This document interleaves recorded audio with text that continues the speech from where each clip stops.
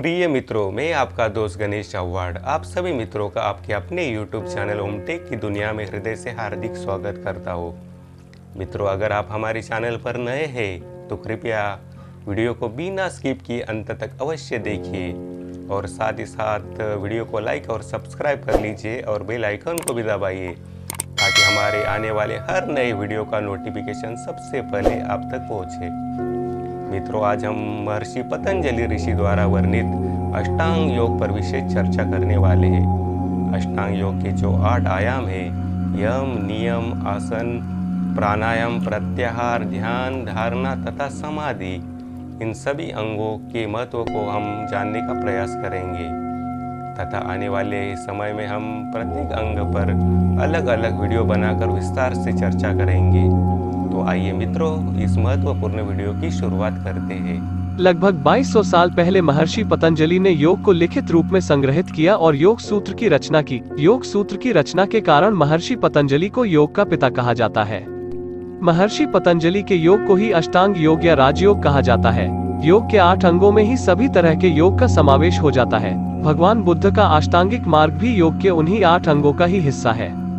महर्षि पतंजलि ने योग को चित्त की वृत्तियों के निरोध के रूप में परिभाषित किया है। उन्होंने योग सूत्र नाम से योग सूत्रों का एक संकलन किया जिसमें उन्होंने पूर्ण कल्याण तथा शारीरिक, मानसिक और आत्मिक शुद्धि के लिए अष्टांग योग, आठ अंगों वाले योग का एक मार्ग विस्तार से बताया है। अष्टांग योग को आठ अलग अलग चरणों वाला मार्ग नहीं समझना चाहिए।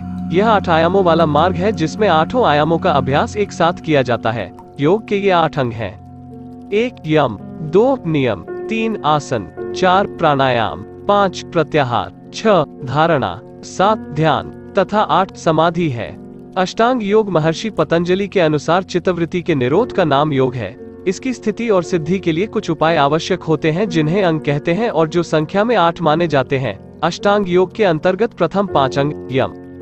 नियम, आसन, प्राणायाम तथा प्रत्याहार, बहिरंग और शेष तीन अंग धारणा। ध्यान, समाधि अंतरंग नाम से प्रसिद्ध है। बहिरंग साधना यथार्थ रूप से अनुष्ठित होने पर ही साधक को अंतरंग साधना का अधिकार प्राप्त होता है। यम और नियम वस्तुतः शील और तपस्या के द्योतक हैं। यम का अर्थ है संयम जो पाँच प्रकार का माना जाता है, जैसे एक, अहिंसा। दो, सत्य। तीन, अस्तेय। अर्थात चोरी न करना। चार, ब्रह्मचर्य। और पाँच, अपरिग्रह है।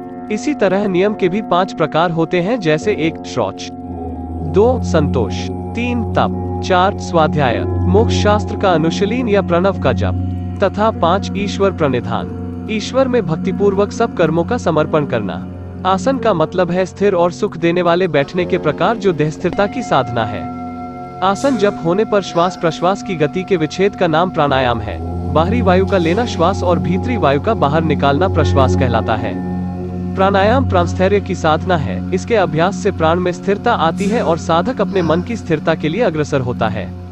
अंतिम तीनों अंग मन स्थैर्य का साधना है। प्राणस्थैर्य और मन स्थैर्य की मध्यवर्ती साधना का नाम प्रत्याहार है। प्राणायाम द्वारा प्राण के अपेक्षाकृत शांत होने पर मन का बहिर्मुख भाव स्वभावत कम हो जाता है। फल यह होता है कि इंद्रियाँ अपने बाहरी विषयों से हटकर अंतर्मुखी हो जाती है। इसी का नाम प्रत्याहार है। अब मन की बहिर्मुखी गति निरुद्ध हो जाती है और अंतर्मुख होकर स्थिर होने का प्रयास करती है। इसी प्रक्रिया की आरंभिक दशा का नाम धारणा है, शरीर के किसी अंग पर, जैसे हृदय में या नाक के अग्रभाग पर अथवा बाह्य पदार्थ पर, जैसे इष्ट देवता की मूर्ति आदि पर चित्त को लगाना धारणा कहलाता है। ध्यान इसके आगे की दशा है, जब उस देश विशेष में ध्येय वस्तु का ज्ञान एकाकार रूप से प्रवाहित होता है।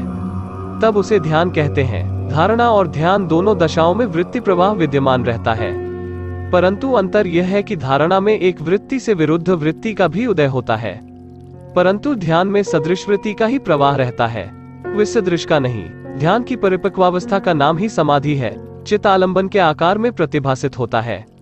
अपना स्वरूप हो जाता है और एकमात्र आलंबन ही प्रकाशित होता है। यही समाधि की दशा कहलाती है। अंतिम तीनों अंगों का सामूहिक नाम संयम है जिसके जिसके जीतने का फल है विवेक ख्याति का आलोक या प्रकाश। समाधि के बाद प्रज्ञा का उदय होता है और यही योग का अंतिम लक्ष्य है।